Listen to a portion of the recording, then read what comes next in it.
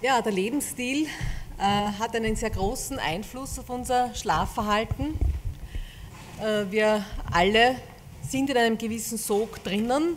Man hat Leistung zu erbringen und muss insgesamt sich den Anforderungen täglich neu stellen. Draußen sein in der Natur, einen Vogel, ein Reh, einen Hasen beobachten, das ist ein Luxus, den der Städter oft nicht mehr hat. Aber es ist ein nebenwirkungsfreies Genussmittel. Geben Sie den Pflanzen eine Chance. Sie wollen uns helfen. Sie wachsen für uns. Sie wachsen für uns, man braucht sie teilweise gar nicht anbauen, sondern sie wachsen wild für uns. Und dann gibt es sogar noch Möglichkeiten, dass man sie fix fertig besorgt und kann da wirklich nebenwirkungsfreie Hilfen hoffen, wenn es um Entspannung geht und wenn es darum geht, dass man eben Schlafstörungen, die ganz massive gesundheitliche Beeinträchtigungen nach sich ziehen können, verhindern kann. Zitronenmelisse ist eine Pflanze, die für Kinder sehr gut geeignet ist. Kinder können diese Pflanze als Aufguss, als Heißaufguss trinken Melisse lässt sich genauso auch wie Lavendel und Lindenblüten in ein Kräuterkissen hineinpacken.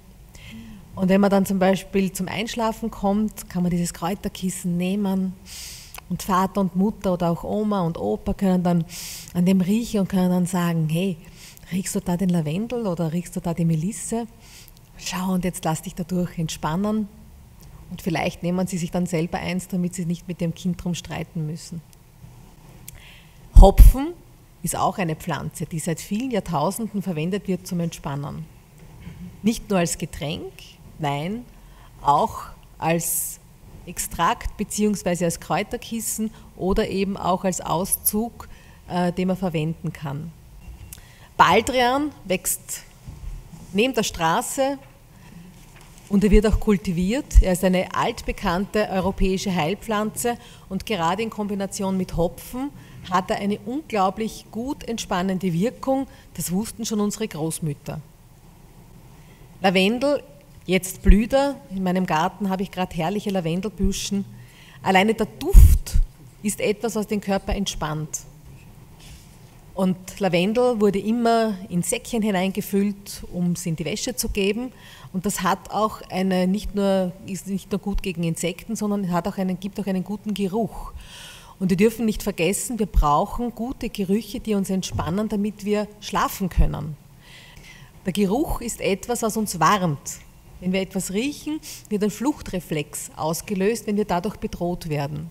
Und deshalb ist es wichtig, dass wir uns mit angenehmen Düften umgeben, sonst hindert uns ein Evolution, evolutionsbedingter Aspekt, dass wir in eine tiefe Entspannung fallen.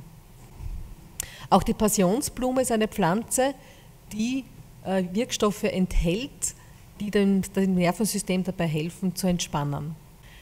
Fußbäder. Fußbäder sind etwas, was dem Körper unglaublich hilft. Da oben soll der Kopf abspannen. Die ganzen Sinnesorgane haben wir in unserem Kopf.